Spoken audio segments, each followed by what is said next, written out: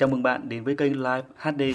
Nếu là lần đầu tiên đến với kênh, hãy nhấn nút subscribe đăng ký kênh phía dưới video này để luôn nhận được những thông tin mới nhất về video trên kênh. Ở video này, Live HD sẽ chia sẻ về cách chúng ta liên kết kênh YouTube của chúng ta với trang Facebook cá nhân và các trang mạng xã hội khác để làm tăng cái tương tác hiệu quả và đến một cái thời điểm nào đó khi mà đủ lượng thì kênh YouTube của chúng ta sẽ có những lượt tương tác tự động, rất là hữu ích.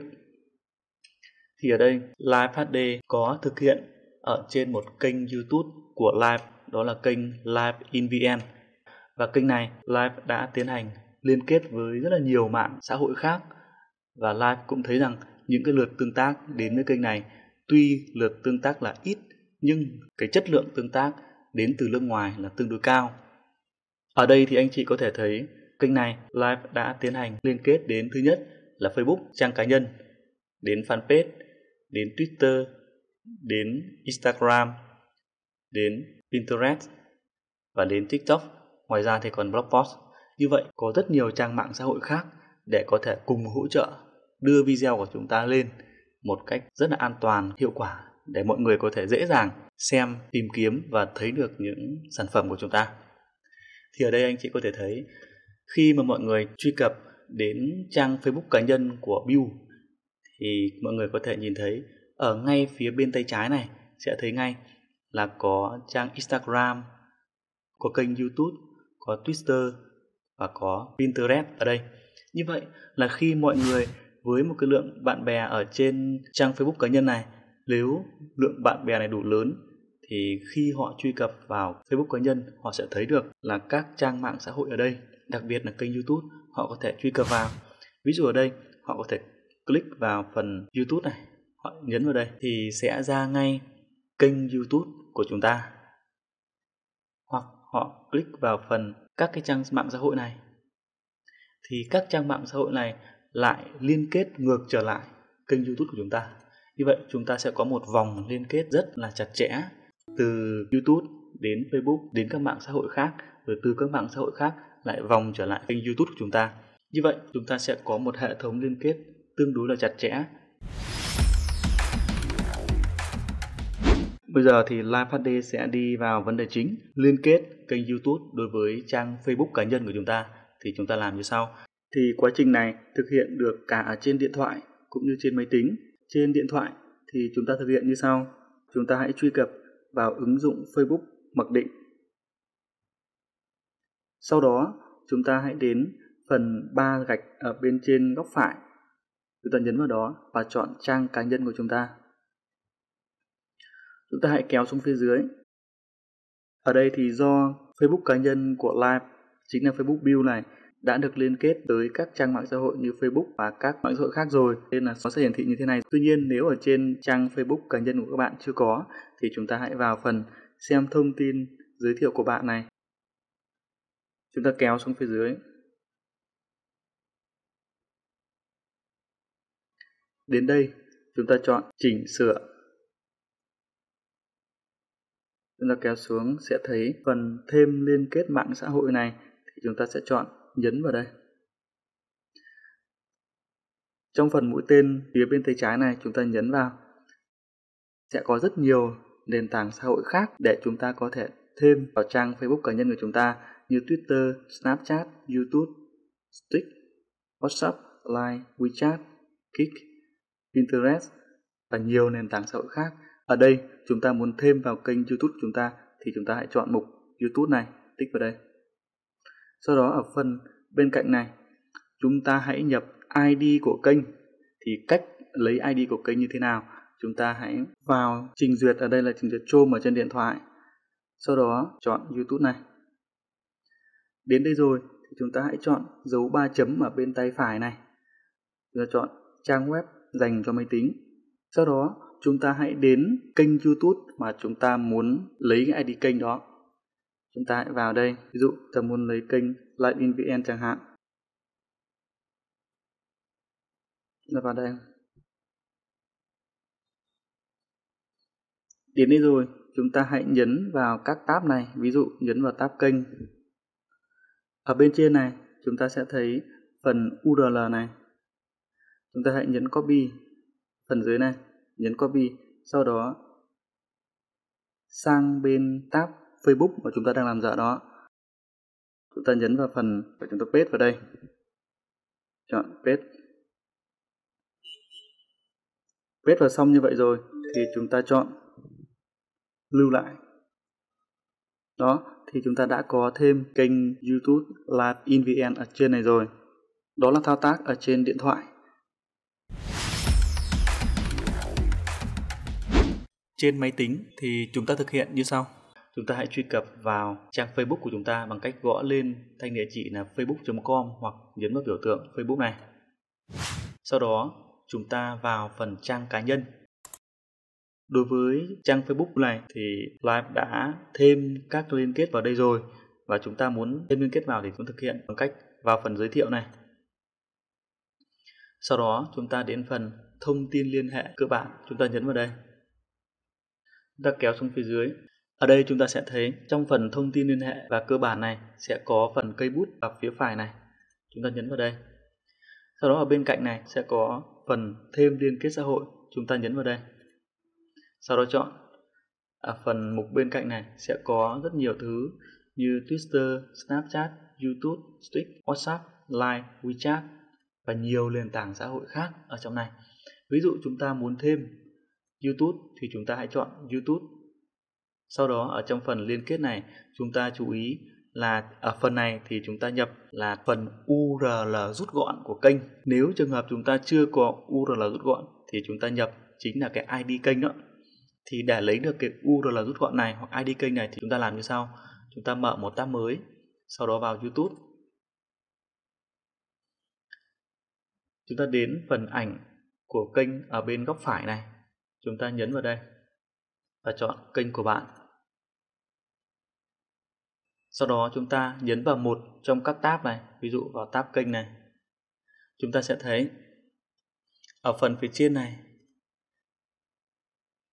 sau chữ C hoặc sau chữ user sẽ chính là cái URL rút gọn hay là cái ID rút gọn đó. Chúng ta bôi đen cái phần rút gọn đó. Ở đây là Live in VN. Chúng ta chọn ở đây và chọn sao chép. Sau đó sẽ sang tab Facebook đó. Chúng ta vào đây và chọn kích chuột phải chọn dán sau đó chúng ta chọn lưu lại như vậy là được khi đó chúng ta sẽ ra chúng ta sẽ nhấn vào trang cá nhân của chúng ta. Chúng ta sẽ thấy ở đây sẽ có hai kênh youtube. Kênh youtube về live hd và kênh youtube về live in vn khi người xem đến với trang cá nhân, nhấn vào đây thì cũng đưa người xem đến với kênh youtube của chúng ta. Thì đó là cách liên kết đối với trang Facebook cá nhân. Thì chúng ta thực hiện như vậy. Còn đối với các nền tảng xã hội khác thì chúng ta phải lập các tài khoản. Thì ở video, đó là video cách quản lý kênh đó anh chị có thể vào YouTube rồi tìm cách quản lý nhiều kênh YouTube Live HD. Chúng ta tìm cụm từ khóa này để chúng ta sẽ xem đó chính là video này thì đối với mail trung gian đó trung gian mà chúng ta để quản lý nhiều kênh đó thì chúng ta hãy dùng mail đó để đăng ký các nền tảng xã hội như Facebook, Twitter, Instagram, Pinterest, TikTok hay Blogspot. Hãy dùng địa chỉ mail đó để đăng ký tất cả các nền tảng xã hội khác. Sau đó thì chúng ta hãy tiến hành liên kết kênh YouTube của chúng ta đối với các nền tảng xã hội đó rồi tiếp tục từ nền tảng xã hội đó chúng ta xây dựng một cộng đồng người bạn của chúng ta từ chính cái mạng xã hội đó còn nếu chúng ta đã có facebook rồi thì chúng ta hãy dùng mail của facebook đó để đăng ký các nền tảng xã hội khác và từ các nền tảng xã hội khác đó chúng ta hãy liên kết kênh youtube của chúng ta như thế này thì ở đây live cũng có một trang twitter thì chúng ta để đưa kênh youtube của chúng ta vào đây chúng ta hãy vào tài khoản Twitter của chúng ta rồi chọn chỉnh sửa hồ sơ, sau đó kéo xuống phần phía dưới. Chúng ta hãy nhập đường link liên kết kênh YouTube của chúng ta thì đó chính là cái đường link này.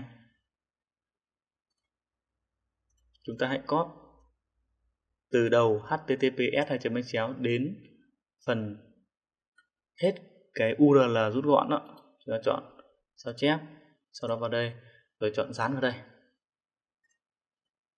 Rồi chọn lưu. Ở đây thì Fly có sử dụng, đó chính là cái rút gọn link lên live sử dụng, đường rút gọn link cho gọn gàng hơn. Là như thế này. Đó. Đó là trên Twitter còn trên Instagram thì chúng ta cũng dùng cái mail trung gian đó để đăng ký một tài khoản Instagram. Sau đó thì chúng ta cũng sẽ đưa kênh YouTube của chúng ta vào Instagram bằng cách nhấn vào phần chỉnh sửa trang cá nhân này. Và chúng ta cũng đưa copy cái đường URL rút gọn của kênh YouTube chúng ta đó, sau đó paste vào đây và chọn lưu lại. Thì chúng ta cũng sẽ có một trang Instagram và có link kênh YouTube được liên kết tại đây. Còn đối với trên Pinterest thì ở đây là cũng có một trang Pinterest, tuy nhiên trang này là mới lập thôi. Thì chúng ta cũng sẽ có đưa kênh YouTube của chúng ta ở đây bằng cách chúng ta tạo một cái ghim sau đó thì chúng ta hãy tạo đưa một ảnh vào rồi tiếp tục chúng ta tạo cái nội dung text ở đây. Người xem chỉ cần vào, nhấn vào ảnh này thì cũng ra kênh youtube của chúng ta. Như vậy. Đó là trên pinterest. Còn đối với tiktok cũng vậy. Thì live cũng có một trang tiktok như thế này. Thì trên trang tiktok này, live cũng có để đó chính là youtube ở đây. Link youtube ở đây. Thì khi mọi người truy cập vào tiktok, kênh tiktok này của live thì cũng đã có gần 1.000 follow rồi và có 7.600 lượt thích. Thì ở đây mọi người khi vào xem chúng ta cũng sẽ có một cái lượng người theo dõi. Ở đây thì cũng có những video mà đã có cả tới gần 100.000 lượt lượt xem. Như video này có 40 40,6 nghìn lượt xem.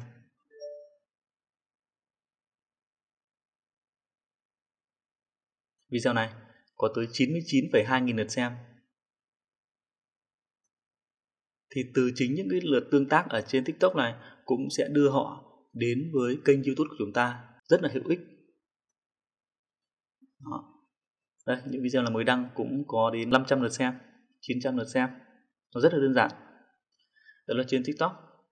Còn trên Blogspot thì chúng ta cũng dùng cái địa chỉ mail trung gian để quản lý kênh đó để chúng ta lập một blog post. Sau khi lập một blog post như vậy thì chúng ta cũng sẽ tinh chỉnh blog post và đưa toàn bộ video của chúng ta trên kênh lên blog post này.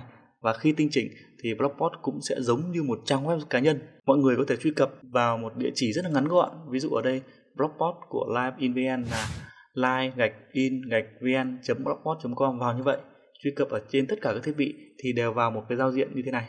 Rất là đẹp mọi người có thể vào xem và khi xem ở đây thì đều xem được trực tiếp ở trên cái nền tảng này. Bắt nguồn từ sự tích trực Bồ tiếp Tát xem một được ở trên Blogspot mà không phải chuyển sang YouTube.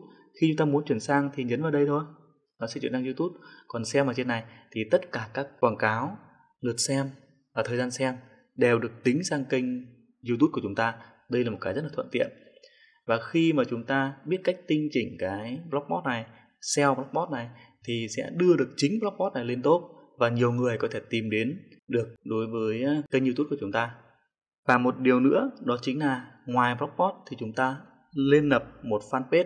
Ở video trên kênh Live HD đã hướng dẫn anh chị cách mà chúng ta đưa kênh YouTube lên fanpage.